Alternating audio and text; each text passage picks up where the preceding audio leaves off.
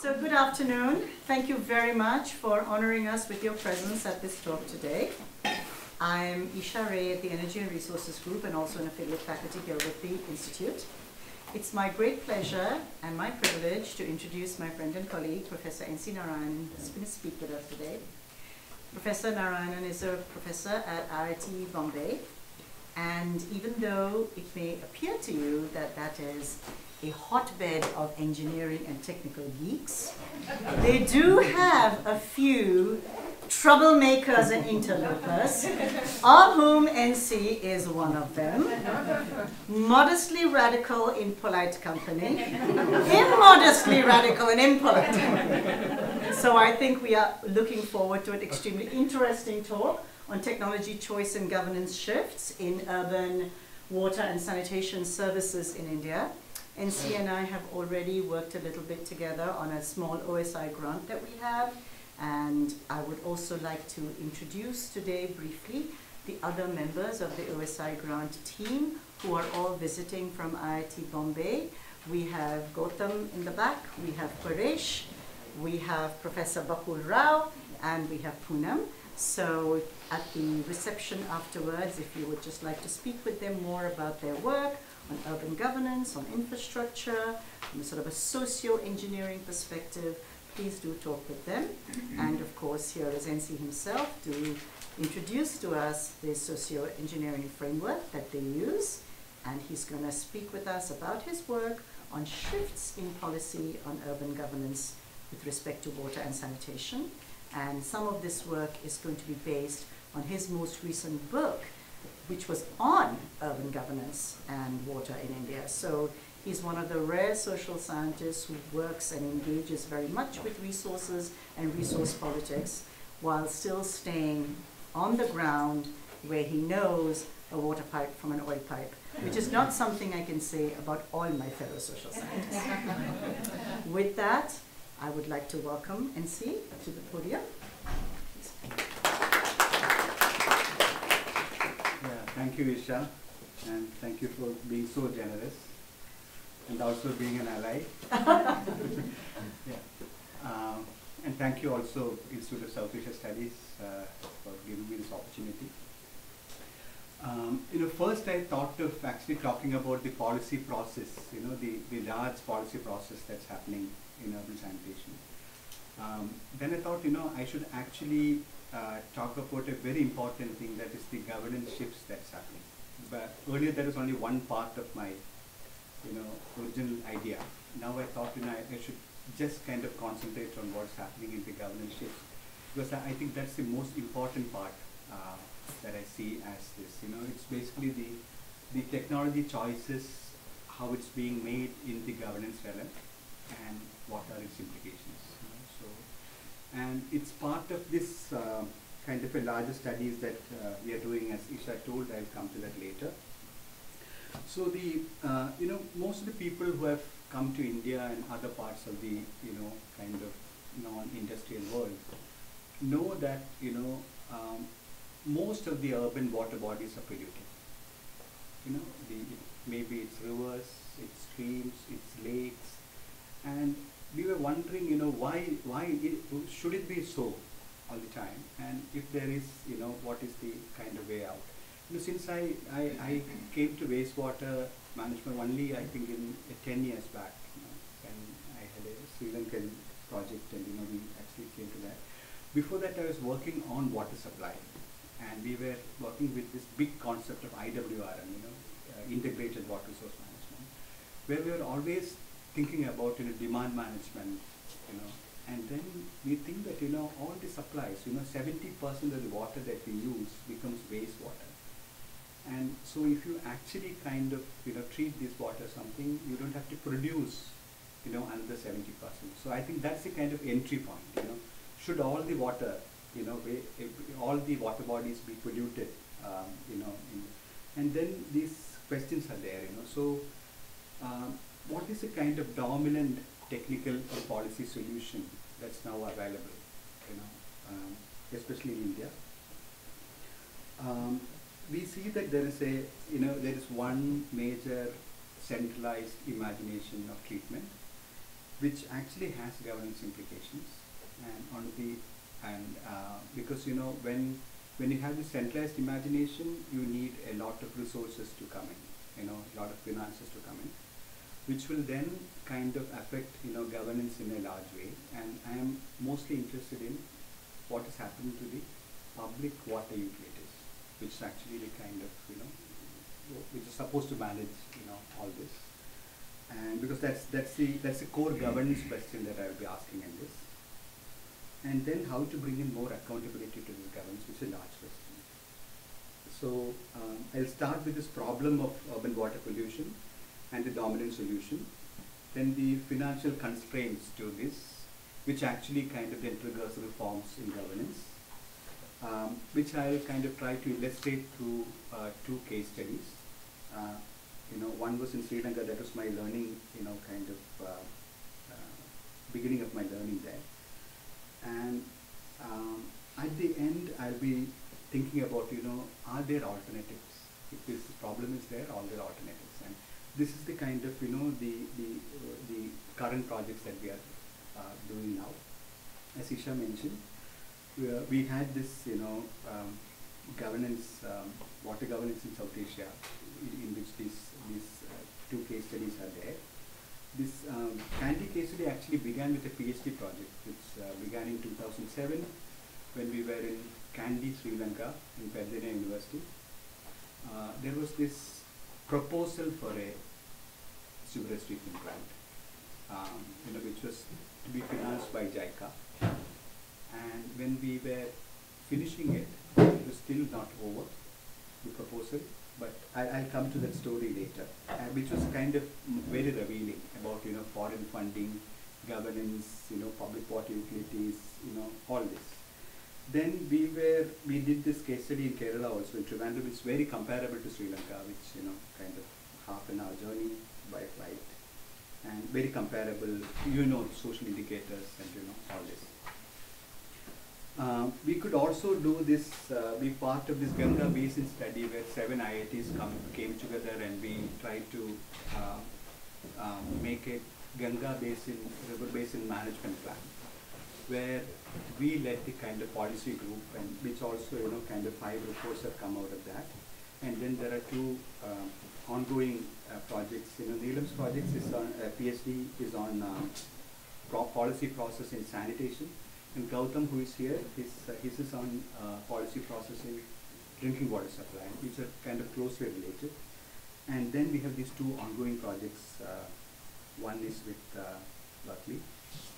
So coming to the conceptual frame, every, many of you know this. You know, this is a slightly exaggerated figure where we have the pre-reform state where the for, the, for India it is the Nehruvian state which was the kind of designer provider of you know development. And then you shift here, um, you have, you know, the uh, neoliberalism tells that the state actually diminishes, but does it is the question we can ask later. Uh, but uh, definitely what happens is, um, you know, some kind of a um, hollowing out of the state, where, you know, uh, the state actually gives the supra-national bodies like European Union, and then to kind of, you know, sub-national bodies like, you know, states or panchayats in India. And then there is a lateral shift towards, you know, kind of civil society and, uh, and market. But, you know, that's the kind of general understanding that we have. But we want to nuance this, this into, the state into, in India into central government, state government, and then these urban local bodies for, for the, the, the issue that we are talking about. And then there is this new entity called the special purpose vehicles, which come with, you know, big foreign funding that's, that's now available. I think, you know, the whole issues are now, so here is where the, the kind of all decisions are being taken. And outside it, you have the public water utility in water governance. So, so I think, you know, so this is particularly the kind of worry that we are going to talk about regarding governance.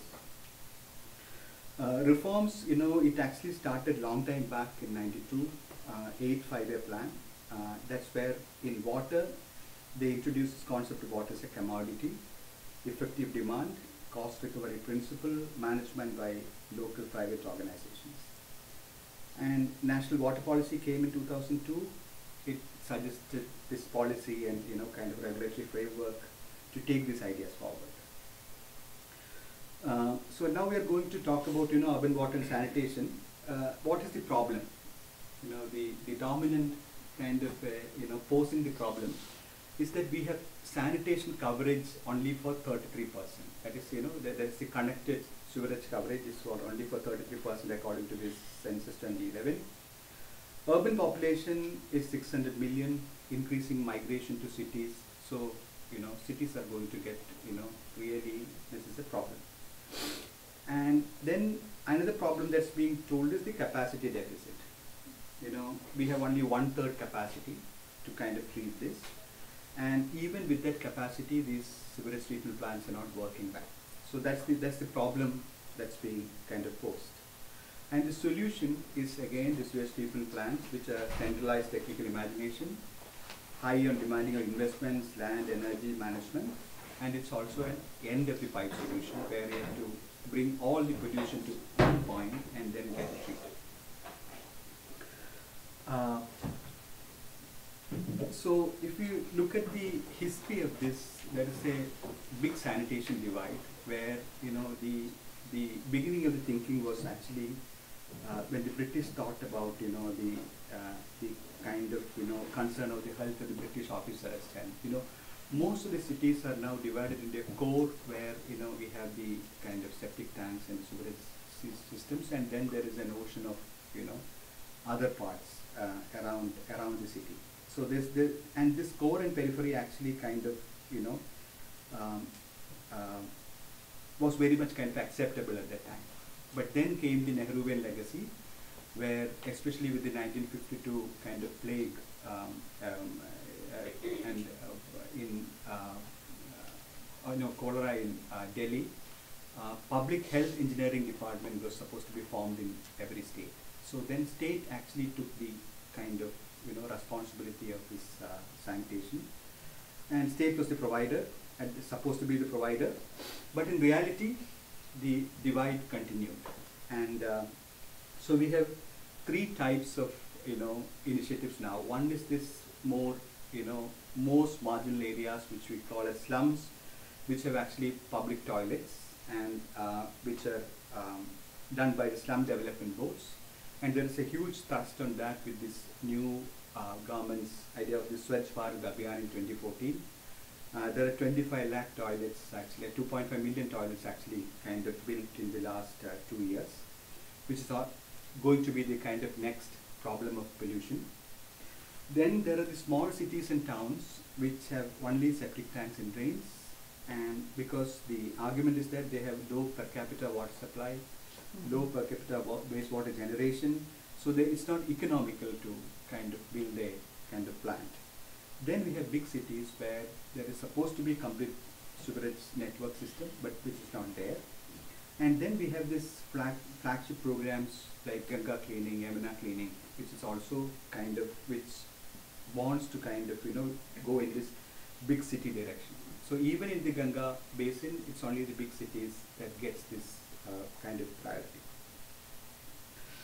Uh, but there is a lot of studies which says that you know centralized approach is costly and you know kind of exclusive, where 70% of the cost actually goes to the sewerage network, and then there is very little money left for that, um, uh, for running it. Um, so what I want to kind of highlight here is the kind of you know the, the major shift that happened uh, from level plan period is the is uh, when this urban water and sanitation sector was transformed in infrastructure sector from a social service. And this was actually cities as engines of growth and then it attracted a lot of investments into into the sector where um, I'm sorry I have put in crores and now uh, I, I, think I, have, I, had a quick calculation actually. Central assistance increased from 37 billion Indian rupees to a kind of 430 billion Indian rupees in the in a span of six years. So that's a huge increase, you know, which happened in this uh, sector. And but there are more heroic kind of you know calculations done. Like this is done by um, Professor Isha Jajaluwalia. I don't know how many of you know that. And um, uh, uh, this is like, you know, she calculated that you need something like, um, I don't know how many zeros, 31 lakh crore, um, which works out to be actually 13, uh, 329 rupees capital cost and 840 rupees capital, uh, you know, operation cost per capita. So it's a huge investment that's that's being kind of demanded. And uh, then we, when we looked at the Ganga Basin uh, calculations, it comes around something like 33 million Indian rupees per you know million liters of uh, MLD um, capital cost is that. So when we calculate it, this actually runs to again 50, you know, uh, something like uh, 57 billion uh, Indian rupees for one base in alone. So the point is that you know the centralized solution is a kind of hugely capital intensive science fiction which a, a, a, a kind of you know a country like India I don't know can afford at any point. Then came the understanding that huh, now we need public private investments. State can't do this. So what we need is private investments. World Bank study, not any radical studies, which says that you know this is the kind of you know um, cost of equity that is return on investments in um, you know um, across sectors. We say that you know energy is very lucrative, ports are very lucrative, water is not. So uh, no private investments came, and it was mostly uh, kind of public money uh, being spent with private management, or you know kind of that that was the uh, that was what was being planned. Um, when we look at the private sector's you know perspective, it is the uh, opportunity cost of investing in a non-lucrative sector. So uh, they will not come. Second is the 70% of the costs are for actually you know to bring in the backward linkages of bringing in the sewage, which is actually very costly and you know so they are not interested in that. Then there are these complications of arriving at annuity, transaction costs of dealing with local politicians. So you know private sector is not interested.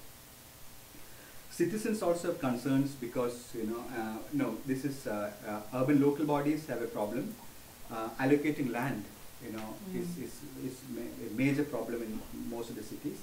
And most importantly, there are capacity gaps in assessing, you know, the flows, the tariffs, you know, annuity, and the whole regulation, which they are not kind of, you know, in no way they can do that. And citizens are also concerned because these are publicly funded projects, so government subsidies or enhanced tariff. So anyway, the people have to pay. It's, it's, it's public money has to come in limited market for wastewater in the absence of groundwater regulation, which is impossible in India. I don't know where, anywhere it's kind of happening. Um, so, and then we have seen many PPPs, you know, the kind of, uh, the nexus between the, the, the regulator, the state and the kind of capital, where we see that, you know, there are gold-plated investments that are coming in, you know, like highly over-invoiced capital costs. Um, so all these political economy concerns are there for the citizens also. So PPP also kind of did not kind of you know uh, come in, especially in a sector like sanitation and also water supply. In ports, in you know kind of power plants, it's it's, it's already uh, in, a, in, a, in, there in a big way. So our lessons from this is that you know the there's a centralized imagination leads to high capital and operation costs investment needed for infrastructure building for cities as engines of growth. PPPs uh, did not bring in investments. Then um, huge allocations through foreign funding and flagship programs of the union government, which also kind of you know silently kind of you know funded by World Bank also. So um, in this scenario, what are the governance implications? You know, when a big influx of money comes in, what happens? So I have two case studies. Um, one is from Sri Lanka, where you know Kandy, um, small city. Um, yeah, there was this um, suggestion for a three billion uh, Sri Lankan rupee STP in 1998, and 83% of this was supposed to come from JICA. they chose the kind of highest, um, you know, hi- highest cost uh, solution of advanced treatment because that's that's how loans work. And then um, I won't go into the details. Only benefits to lenders and you know cost to borrowers. That's what I'm going to tell. So from the foreign portion of the loan, construction contracts, engineering services, almost 50% goes back to lenders. Then um, selling the black box of technology because there's no capacity building happening there. Then 40% of the operation costs um, are for chemicals, repair and maintenance. 90% go back to the donors. And then there is an inflated cost, cost of overpriced expertise, you know, yeah. Okay, uh, questions allowed in the Yeah. uh, So ninety percent going back to the donors annually, like, uh, It's, you know, it's basically, you know, everything has to come, to, come from there. The chemicals, the expertise. the country as such. Yeah, it- that's the package. That's the package. For this kind of a technology, you have to kind of get the inputs also from there. Including the, so this is all kind of, you know, long-term contracts. And I have calculations of, you know, how much is the kind of annual, it's like eleven million, uh, it's there. You know, estimated cost is actually, so the burden to borrowers is basically, you know, the seventy percent cost is laying this US, which is actually with the Sri Lankan government. And unless you do that, this won't flow. But the plant is already there. There. And these are unplanned cities, so it's very difficult for, you know, these to come overnight. And uh, there are a lot of problems also. Then forty percent is low income settlements that doesn't come in, into their purview at all. So estimate O and M cost is ten percent of the capital cost, which is eleven million per month. And we, and you know, minus capital cost, even the O and M cost to get it back, you should have a ship tax of four ten rupees per month per household. It's, even water supply, they don't give that, you know, so how can you kind of imagine this to be done? So institutional weakening, overpriced foreign consultancy, lack of institutionalization, which will be, which we'll see in the Kerala case also. Uh, continuous import of materials, dependence, and the most important part is you have a end of the pipe solution where you concentrate all the waste to a point, and if there's a power failure, there's a seven hundred percent increase into flow into the Mahaweli River, which was supposed to get cleaned by this. And and power cuts are kind of you know quite frequent in, in, in that part of the world. So this may increase pollution. So this is one, and then um, we have another um, case study of Trivandrum, which is actually very you know I think um, um, um, geopolitically, socially very comparable, you know, kind of uh, Kerala, where we see that you know there is from 1931 we have a we have a system there, and there is uh, you know 1947 uh, it became public health engineering wing of the uh, public works department. Later it was converted into a parastatal body called Kerala Water Authority. So when I say KWA later into this, it's Kerala Water Authority. You know, 1938 they had a sewage farm. It is much less in scale but very comparable to the East Calcutta wetlands. And I think that's the most efficient kind of, one of the most efficient kinds of, you know, uh, treatment systems where uh, I was reading somewhere it's cradle to cradle. You know, one waste to another raw material, and then you know, and there's a lot of livelihoods happening there, like fisheries and uh, in, in Calcutta and farming. Here also, you know, the fodder was being cultivated, and you know, almost the whole Trivandrum city's fodder demands were kind of met from this sewage farm. But then preventive maintenance was not done, capacity kind of surpassed, so you needed an STP. And then came the Asian Development Bank loan in 2009. Sanitation received significant attention. We came with a special purpose vehicle called KSUDP, that's Kerala State Urban Development Project, which part of this JNNURM money also, Jawaharlal Nehru Urban Renewal Mission, which was also the kind of flagship program which brought in a lot of money. So when you get all this money, you need to kind of ring fence this this uh, funding. So that's why you have this SPV, and then you don't you don't kind of work with the public water utility like Kerala Water Authority or the urban local body, which are the kind of you know traditional governance mechanisms. I won't go into the details. I just want to highlight you know when um, you know a loan of uh, this this amount comes in, then I think you know thirty percent is actually put in by the government. Here also JNRM also, it's, so so a loan coming in with all those you remember Sri Lanka's you know yeah, it's it's all all inflated you know. Uh, I I'll, come to this you know almost thirty percent actually goes back in the first year to Japan as consultancy. So, and already the state has to spend this much money. So can we think about a solution where if we have this money being invested, you know, is, is, is the larger question that we have to ask. So governance has become very kind of complicated, where Government of India gives money to Government of Kerala through the Aid Environment Program. It comes to Municipal Corporation, that's MC. And then ADB also, it's the same. And both of this, this PMU, TSU is the kind of you know foreign consultancy companies which uh, which makes a PIU that is a project implementing unit also. So these are all foreign consultancy companies which has to kind of do this uh, you know planning and implementation of this. And then there is something called this design services as well. These are all retired Kerala Water Authority engineers who actually did everything.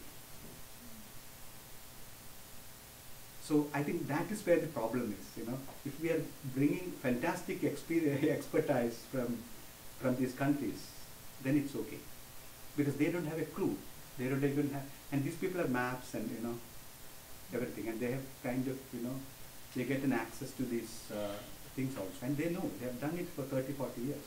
So only those people can actually do it. So and then Kerala Water Authority is completely out. So there's a fragmented governance where you know um, there is this urban local body, water authority, and uh, SPV, and municipal corporation owns, operates infrastructure, sets revision of tariffs, but completely no capacity.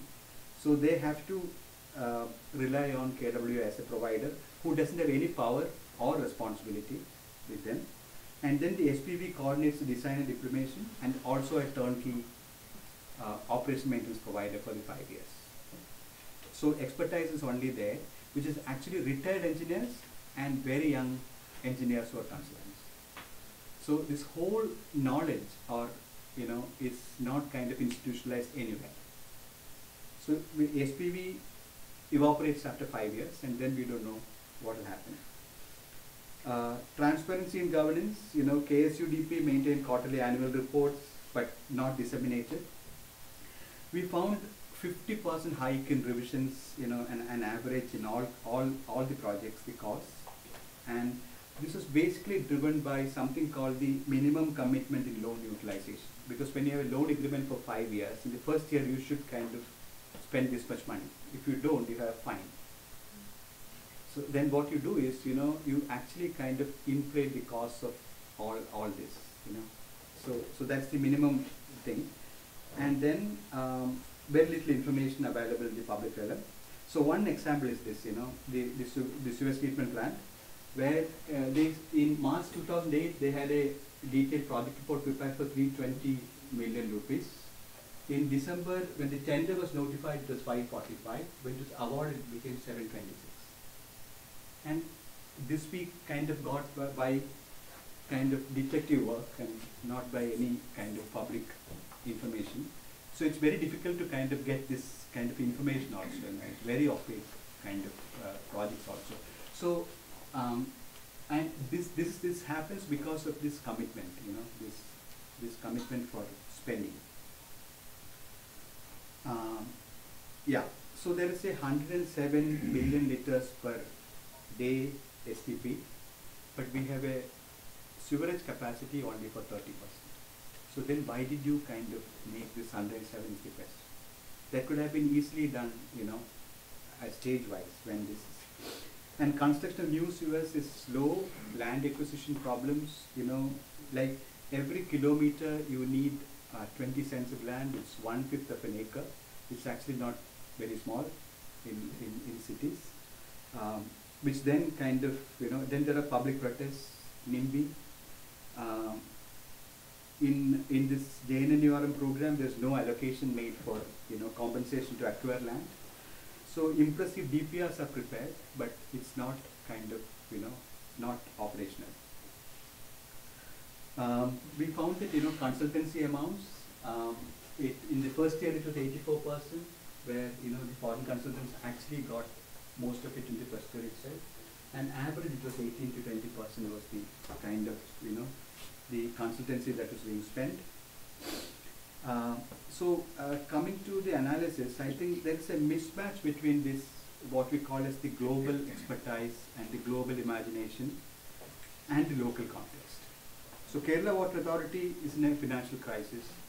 They don't plan with foresight with the growing urbanization, which invites soft loans. And then these loans come with opaque terms and you know kind of global standards of infrastructure planning. In, invites international consultancy expertise, which leads to de-skilling of you know the public water utility, water utility engineers. And we found that you know it's mostly done by the retired water authority person with international consultancy counting bulk of uh, this allocation. So uh, context has challenges to accommodate global models. So can we fit in models or conceive models that suit the context? That's the question that we are asking. Actually, I think this is where our project actually begins, you know, where, um, yeah, how do, do we kind of, you know, understand this, you know, is the, is the question. So, um, it's not even methodology. I think what's the epistemology of, you know, kind of, you know, grappling with this issue is the question that we ask. So the second, um, so uh, some of the very large suggestions that came were, you know, how to monitor the KWA internally developing ownership by staff service unions. You know, you many of you may know PSI's work. You know, Public Service International Research Unit Greenwich. You know, in University of Greenwich, which actually kind of tells about you know how to kind of resist privatization, how to have you know kind of systems where you know the the the labor unions and you know uh, and the kind of larger population gets involved in this and you know. So whatever even if privatization happens can we know how much are we going to spend? And you know so is there a transparency in this whole exercise is one question. Um, second you know is one thing that we are trying to kind of think about in IIT IIT there's a study where 70% of the students actually go to finance and consultancy after studying four years of engineering with public money. So, um, and this, this happens throughout the kind of, you know, uh, the, uh, um, the, the, in the kind of lower tiers of engineering colleges also where they go to IT and, you know. So, uh, there's absolutely no domain knowledge actually kind of being used or uh, so can we integrate these practical challenges that, that we saw in cities and, and villages into the kind of curriculum of engineering and you know other education also is, is one second question that you know we are asking. This will make uh, a lot of analytical inputs into these urban local bodies and panchayats as well as um, it gives some kind of a grounding to the kind of knowledge that's being kind of provided also. Which needs then uh, curriculum change uh, from the academic side. Um, um, so uh, to develop a new breed of engineers who can do the art of engineering, so which actually kind of you know to kind of understand these nuances of you know they they actually study the art of engineering after they go to IIT then they go to IIM Indian Institute of Management. And by the time you know their uh, you know the, the, the price will be kind of affordable only to PwC and you know these big consultancy groups, then they will come through JICA and advise us. You know, so so the point is, and or they will come to Silicon Valley. You know? So can we have you know other types of uh, you know the different types of knowledges that are more contextual, sectoral.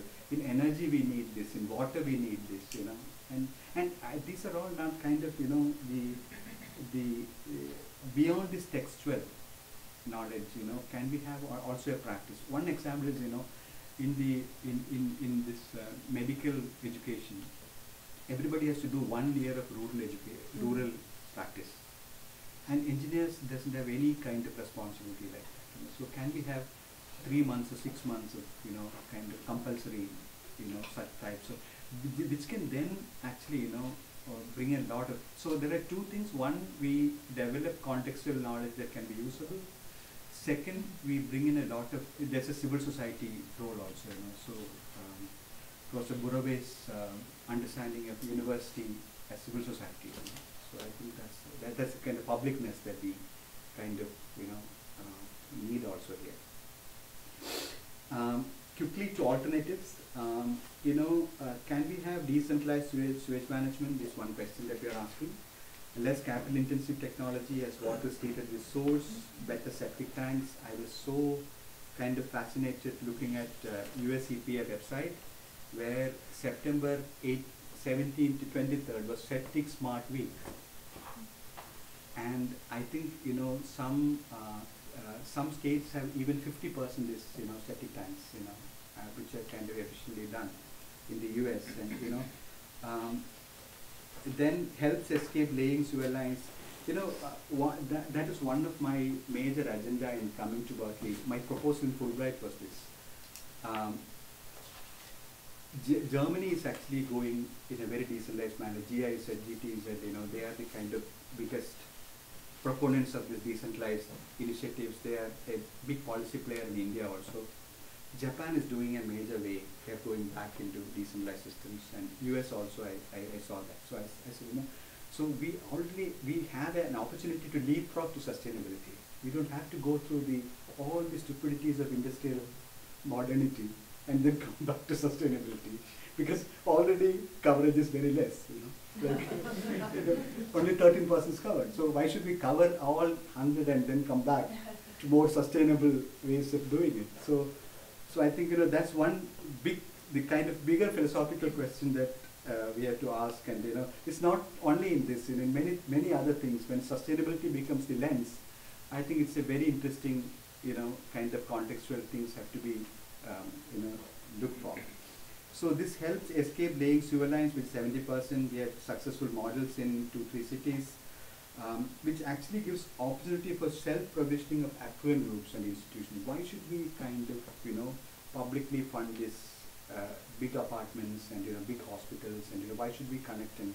So they should have, if they have their own, then a lot of public money is saved, which can be then used to do it in marginal areas. So alternative approach is basically four principles, decentralization, transparency, accountability and participation, big words, but we're trying to kind of, you know, get it through these projects, you know, can we, we're grappling with, you know, how to do this also.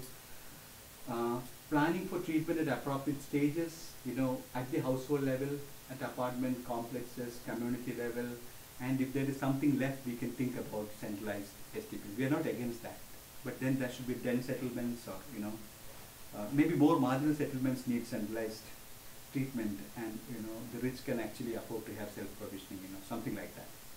Then implementation, um, can we have a proper way of assessing the wastewater generation, designing on the scales of treatment at these scales, and then arriving at appropriate technology choices and institutional options? How can you bring, in transparency, accountability, and participation? You know, it's actually behavioral changes and. Um, um, Can I ask a question? Yeah. Are there important economies of scale? I, I- I can see the advantage of decentralization for accountability and supervision, but how much do you lose in terms of cost, co- cost per unit of treatment? You know, wha- our calculations show that, you know, uh, cost wise, there is no much saving, capital cost wise. But the whole saving comes in the operation cost. Which actually, you know, these natural systems and all are kind of, you know, the maintenance costs are very less. And, uh, but, but the problem is, you know, you should have more involvement, more community involvement. You cannot kind of, you know, forget it. You need kind of much more of, you know, but the other one is not working, that's the problem. The centralized system is an, is an imagination only. But there is the issue of whether it's not working because of management, supervision, accountability.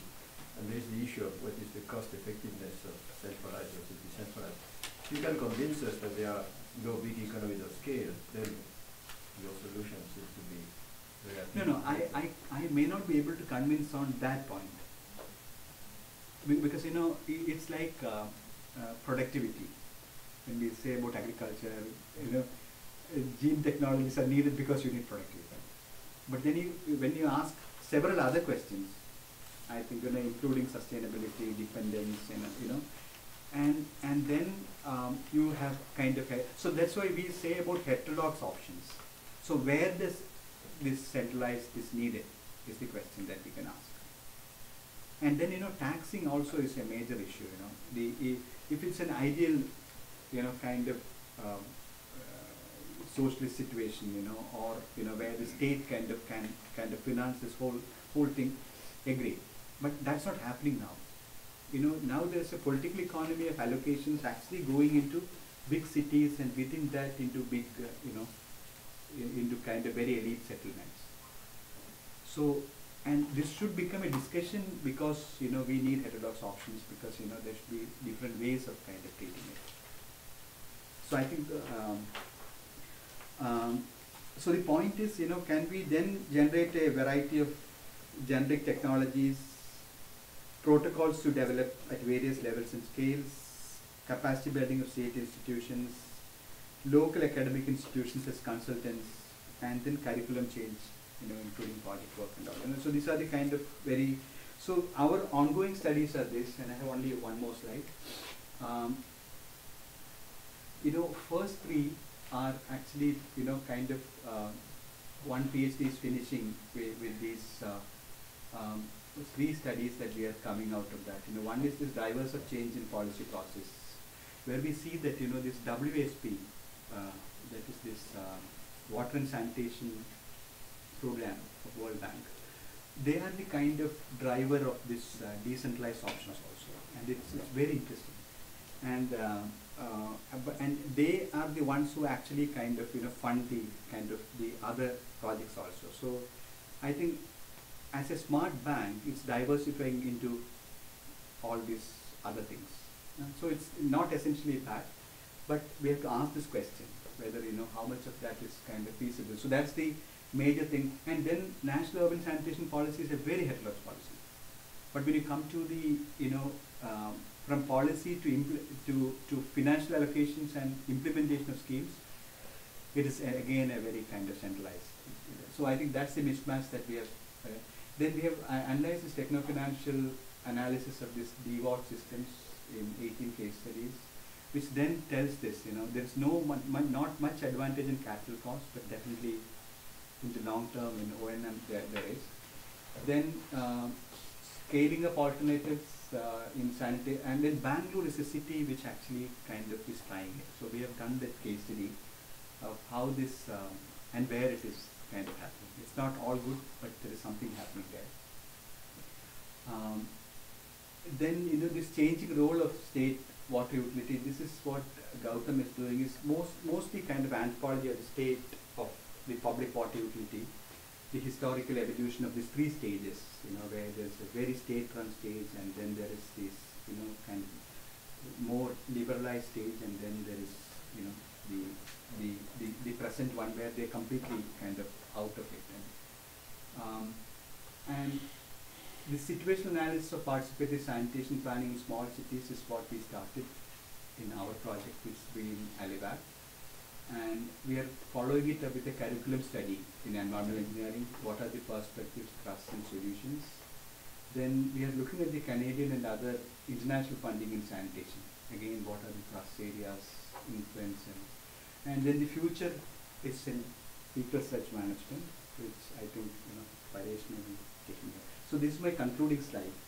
So what I try to kind of tell is how a global uh, policy discourse is emerging, which uh, working through these international financial institutions, and uh, there are vision documents which actually affects the government of India, you know, policies, and um, which then these international financial institutions are funding conditionalities also they can bring in to state public water utilities and urban local bodies. And uh, and gram panchayats, local politicians. So I think this is the level at which you know things have to work now because we have this constitutional amendment for decentralization. So this is where things have to happen. Um, and then you have the expert knowledge providers who directly come here. You know, they kind of bypass state utility and come here. And here, absolutely no capacity. There's only, you know, kind of half an engineer here. That's the only thing that's here. So that's where we kind of hold the, the, the, the consultancy, SPV kind of an entry is happening at this stage. So the major question that we are asking is, you know, can, can we help them in planning, assessment, technology selection, institutional options, implementation, monitoring and regulation? So can civil society organizations, NGOs, academic institutions and knowledge providers, you know, kind of do this? And it all depends on how the local actions shaping politics of water will emerge in the future. So I think um, one small role that we uh, in the academia can play is to kind of, I think, bring in more grounded knowledge and bring in more kind of, you know, um, um, some more kind of a proactive role in, in kind of shaping this, uh, the, the, this context in knowledge provision. Thank you.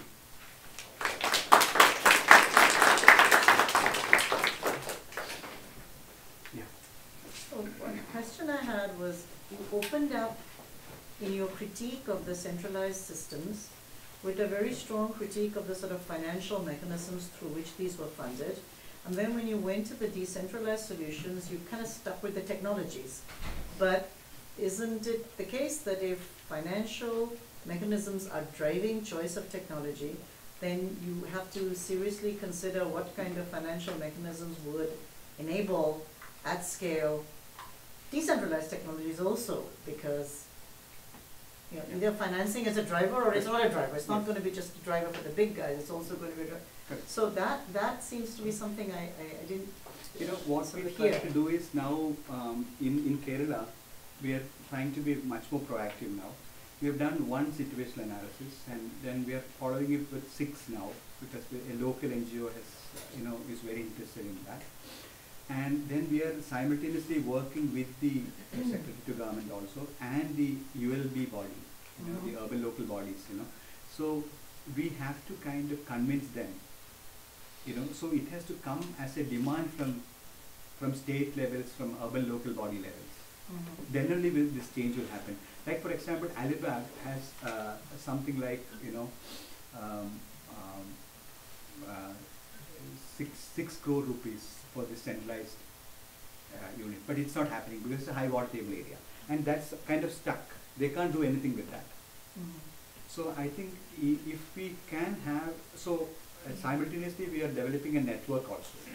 We- You know, we had a workshop on twenty-seven where Center for Science and Environment, CEPT, you know, many of these uh, DWATs and, you know, uh, all these, you know, kind of like-minded people are coming together. And um, so over a period of one or two years, I think, you know, we have to Mm. kind of mainstream this idea of decentralization. But for that, I think the, our work is very important. What is step one? What is step two? What is step three? So a protocol is needed. Um, otherwise, as an idea, it won't work. And we have to demonstrate it also. We are kind of trying to make a film also, you know, how to do these trainings and. But there are many people who are doing it also. CEPT, I think, is in a, in a major way doing it. CSE is a l- loud voice, you know. Do you want to moderate the Q and A? So are there any, oh, yeah, in the back. So, uh, this question is, uh, basically, do you see this, this crisis to be more pronounced in any part of, uh, India, or is it, do you see very uniform? Uh, any specific geographies you want to talk Uh, about? you know, uh, since I work a lot in Kerala, um, there is a study by this, uh, there's a World Bank project on rural water supply. They found that seventy percent of wells in Kerala have pathogens. So, it, because, you know, it's, it's a very dense settlement, and then every house, and it's a kind of ninety-eight percent coverage of toilets. So every house has a toilet and a well. So I think that, and, and, and it's a highly urbanizing uh, kind of a state also, where uh, there are something like three hundred villages which have become census towns. It's not towns, but- but you know, certain areas are becoming urbanized. So I think that those are the kind of real, you know, um, uh, I, I would say hotspots. And then every city has this of different. Kerala, in spite of being the topmost HD, in terms of HDI in we That's part of the problem. You have toilets, you have education, you have HDI, and then you know nobody. This is last in the priority of individuals as well as policy, sanitation. You know. Now sanitation means you know providing toilets, but what after that is the, is, the, is a major question. So Kerala could be one question mark to the Swachh Bharat Abhiyan, which is actually building toilets. Yeah. Yeah. So, Go ahead, Charlotte. so that's a bit of a segue to my question, actually, when we, I mean, we understand the cost, the operations and maintenance cost of a centralized system, but when we think about household systems, what I've seen mostly is operation and maintenance cost is just ignored. Yeah. But if we really thought about the monitoring, you know, and then placing the training on all of these homeowners or the monitoring that would actually be required to see if the septic or the toilet is still maintained and not polluting the drinking water supply, there would be a cost. Yeah. And I'm wondering if, in your analysis, if you're assigning a cost and, and how that's. I've not thought about it. I think you know that's one of the future thing. You know, one thing that we did is a is a student who came three months from Canada. She did a very kind of gross calculation between these two, and then she was for centralized. But the point is, you know, her mindset also was that. You know, she was an economist who came into this, and you know, it was kind of economic cost that she was kind of uh, looking at, and I think we should have uh, better ways of kind of doing it also. So um, what I will say is that you know in the long run what do you need is the question. In the long run, in the in the next 20 years or 30 years if we want to plan it, I would like to kind of you know do this situation analysis and you know that's that, that that's the perspective from which I'm working because the world is moving that direction. Right. But like I said, certain costs and even health costs, things that Yeah. costs that come later as a, a function of what's not done with operations and maintenance, the cost comes, but sometimes they're not accounted for in the Yeah, I analysis. Most often they're not accounted Yeah, for But in analysis. the, here it's a non-starter for me. Centralized option in such cities is actually a non-starter. So we need something. So we need first, you know, some kind of a FSM to be in place. That's the first thing to do. And People the, may, maybe you should say Yeah. what FSM is. People may not know that abbreviation.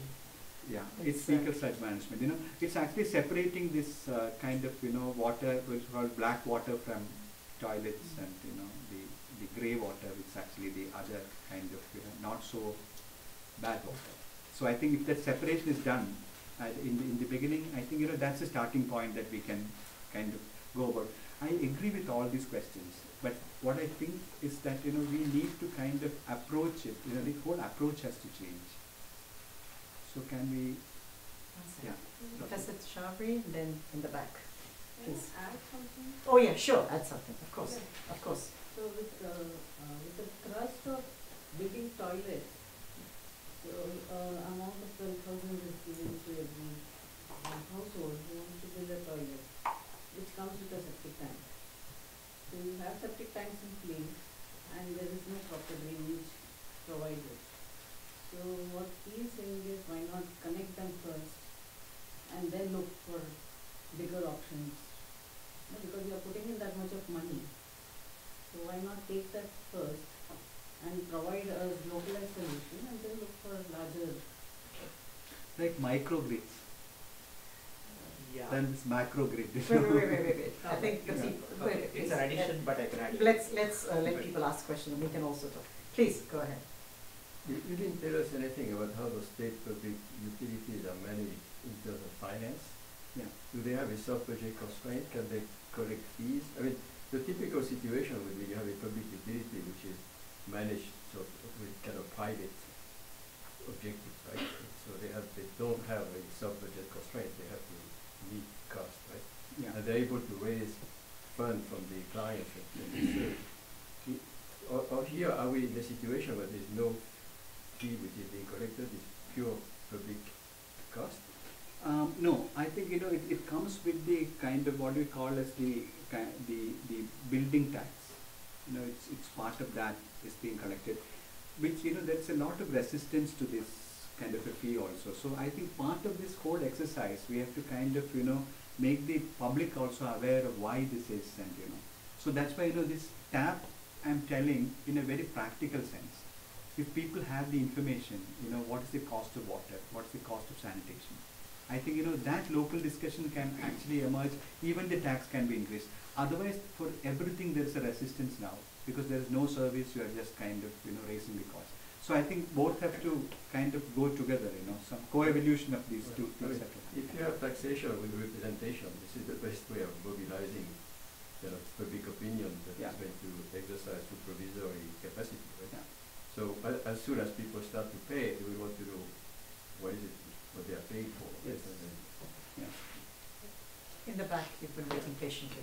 Um, this might just be my misunderstanding, but you kind of expressed ap- apprehension about the privatization of, uh, water and sanitation services, while also, um, saying that from the private sector's perspective, they're not interested because it's not lucrative.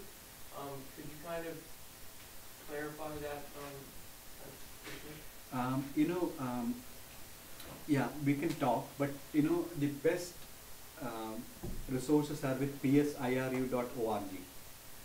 Uh, that's a public service international research unit of uh, Greenwich, University of Greenwich, who has actually studied the, you know, kind of financing of this privatization. You know, it's the, the pattern is like this. You know, the international financial institutions fund these projects, and then private entities come as you know uh, uh, the the kind of um, what do you call the um, operational managers. You know, they don't- they don't kind of invest anything. So what they do is you know they come and then you know they can actually kind of you know uh, retrench people. They can uh, enhance the kind of you know um, tariffs and things like that. Uh, in Delhi Jal Board, you know, the, the Delhi Water Board, um, there is a very interesting things where PwC has come in. And then four officers where, you know, who are foreign consultants, the kind of money that's being given to them. Uh, some, somebody has actually brought it out through, you know, this public litigation and all. Um, um, so there's high costs of those kinds of consultancy expertise, international expertise, basically friends, you know, when they when they come in. Um, but you know, do you want them for that kind of a cost to kind of manage this kind of a utility? And at the end of the day, we see that you know it's it's, it's basically the engineers there who are kind of running it, limping it through. And in Trivandrum, uh, for yeah, I, I think you you have worked on Plachimada. Kerala always boasts like you know they have thrown Coca-Cola out, but Trivandrum utility is now being run by the French company, one of the biggest French multinational, which nobody knows because it, it came through a big loan, and they were the kind of you know the the management contracts were given to them. Now Kerala Water Authority is very afraid to take it back because they don't know what what is in that black box. Do you So- mind if I say something? in- Was that your question, or were you actually saying, is there a contradiction in this analysis with saying that the private sector has been invited in, and then we're seeing a graph which says, well, the private sector doesn't want to come? Is that your question, or was this your, I'm, I'm not sure that. That, that was more. So I I think he's trying to say that if the privatization is uh, running apace, then how do you explain this other graph that you showed where the private sector is in fact more interested in telecommunications and ports and they're not interested in water? How can we square the two? I, that's how No, I think interpret it. returns to e- returns to investments is very low in water. Hmm. It was almost zero in that graph. Whereas Yeah. ports and energy, it was very lucrative. I think it would be the. Ports and uh, ports and energy, it's it's very high returns to investment. So that's why in the whole Gujarat coast, you know, we have all thermal power plants and you know uh, ports, and the coal comes from Malaysia, and you know this is all coming up, and you know so. Yeah, and then this, uh, uh, what do you call it, this SEZs also, what's it, uh, special Special economic zones where, you know, yeah. So in all that privatization is happening, but water sector, very, very less, and sanitation, nobody. Yes, please, Can I ask you a coming to you pretty, in the back. pretty naive question maybe? You mentioned a couple of uh, examples like Calcutta Water Processing Center. I mean, is that not scalable or sustainable? No, Calcutta is basically natural treatment, which it's happening there. Um, uh, which is actually, Calcutta is a big wetland. So what they try to do is, you know, they actually kind of bring all this wastewater there, and this is being used for farming as well as fisheries. But i since it's already, there is a lot of water there, I think, you know, it doesn't get much of a problem. And people have been using that, you know, for uh, quite a while. But then, uh, government, Supreme Court came out with this ruling that, you know, you cannot put um, wastewater into wetlands. Which actually, you know, happening in many other parts. Then Calcutta had to kind of stop that. And then there is a major problem for those people there because flows have kind of reduced very much. So I'm not telling that, you know, it's all good. But the point is that, you know, there are ways in which we were dealing with that and how much can we use that without, you know, thinking about, you know, in Kerala what happened was that the whole sewerage farm was closed and a small portion is SDP now. The rest of it is all kind of, you know, garment buildings. It all became real estate land. So there's no kind of possibility now existing for, you know, kind of such options. But there are many coastal towns and cities in India, but. All, all big cities are coastal. Right, So Bombay has a big, uh, you know, so why? big mangrove area and, you know, Except Delhi, I guess. yeah. So, so can research go into, can we make that more effective than, you know, kind of this kind of preoccupation with this kind of water chemistry, pollution, you know, and big structures? Oh, I was gonna ask, you talked about fecal sludge management. Uh, is there a possibility of using this fecal sludge as a resource and harvesting the methane from it? Yes. Because here, East Bay MUD does that, and we, recent papers have come out that, so that methane emissions are a much bigger problem than people previously realized. Yeah. And this SLCP is really driving global warming a lot faster than we realize. So is that possible? For me, it's future research. I have Sharda here, who is an expert. I think Paresh can come in. Sharda, I think you, you should be. Yeah, again, uh, just to uh, quickly answer that question, uh, to summarize, you, you want to focus on looking at this as more as a uh, resource than a waste. And of course, not only methane, it, it is also a very good fertilizer if you look at it that way. But all of that really requires focus on how fecal sludge is collected, transported, and treated in one centralized area. And a lot of conversation is going on in that direction these days in India. And yes, uh, but there is also another area where the perception of farmers, especially a country like India where they wouldn't even want to cook using biogas mixed with toilet waste, forget about something cooked using methane. So there is also those social implications that we need to consider. But we can talk more about that. Hmm. Other questions for NC?